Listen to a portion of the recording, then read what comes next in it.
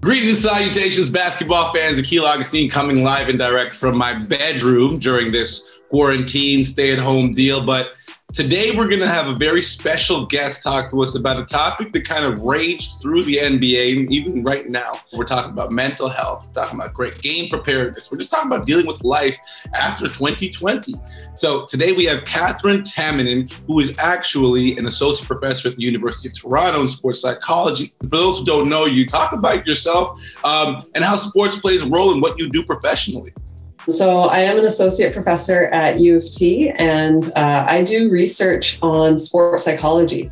So, I primarily focus on studying stress and coping in sport and looking at how athletes deal with stress and the emotions that they experience. Okay, so let's just jump right into it here. The NBA season right now condensed 72 games, and we've seen an influx in blowout games and team and injuries that, you know, according to the traditional timetables, these injuries are taking longer to recover than expected. And so, my question to you is Do you see the stressors of what's transpired with the world globally and with this condensed um, schedule? Is, is that the reason why we're seeing discrepancies in, in, in our final totals and scores in sports right now? Yeah, it's a good question, and we're certainly, um, you know, watching athletes perform under circumstances that they've never been through before. No one's ever been through before, um, but we know there's lots of research that shows that when people are under, you know, chronic stress and under situations where they're under, you know, this this background, this cloud of stress that's around us for this really extended period of time, when that builds up, that can have some really negative effects on um, on our, ourselves mentally, but also physically on the body. It's just exerting a huge toll on the body. And, um, you know, we don't know how well athletes are able to recover between that condensed season between games. So, recovery is super important. But um, if athletes are under these situations of chronic stress, you know, training as hard as they can, as they usually would, and, you know, maybe not having sufficient time for recovery, a lot of these things can lead to performance impairments. So just, you know, lapses in attention or, you know, slower to respond and react in games. So a lot of those things can also contribute to those outcomes. All right, now, given that you are a mental health professional that deals with sports, do you have an open case study or file folder set aside for the Brooklyn Nets this year? Because I imagine there's a wealth of information and research you can glean from the experiences of Kevin Durant, his approach to fans, his approach to, and also his injury. Then you've got Kyrie Irving and what he struggled with. From your perspective, is it harder to be an athlete right now? I think what we're seeing now is that um, athletes have multiple ways of talking about their stories and uh, sharing their stories or choosing not to share their stories in ways that we haven't seen before. So I'm not sure if it's that being an athlete these days is necessarily harder than it has been in the past, but perhaps we're just noticing it more or athletes themselves are speaking up about it more.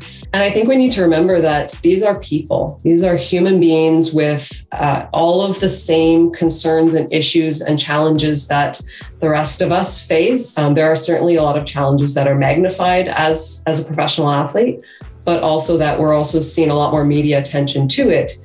All right, Doc. So, what have been the major findings for you in your research on athletes? We know from research with elite athletes, like Olympic athletes from Canada and other countries, that um, usually the rate or the prevalence of um, symptoms of mental health concerns are, are higher than what might be expected in the general population. Some of the estimates for the rates of um, mental health concerns among elite athletes uh, in Canada and Australia and other countries are around 40 to 50%. Like it's fairly high.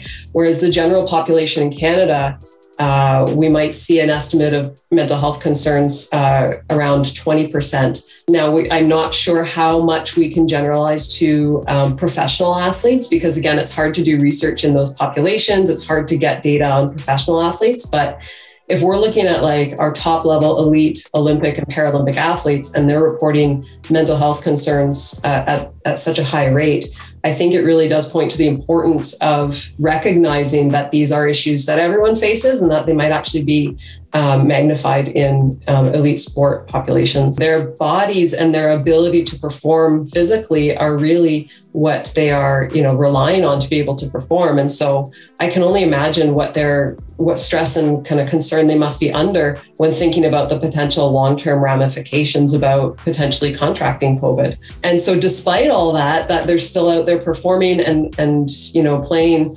Um, but we have to recognize that athletes are to some extent putting their lives on the line by by being out there and performing. All right, Doc, we could do this all day, but I don't want to. yeah, there's so many. Topics, I don't want to yeah. kill Adam because there's so much he has to edit. That was great.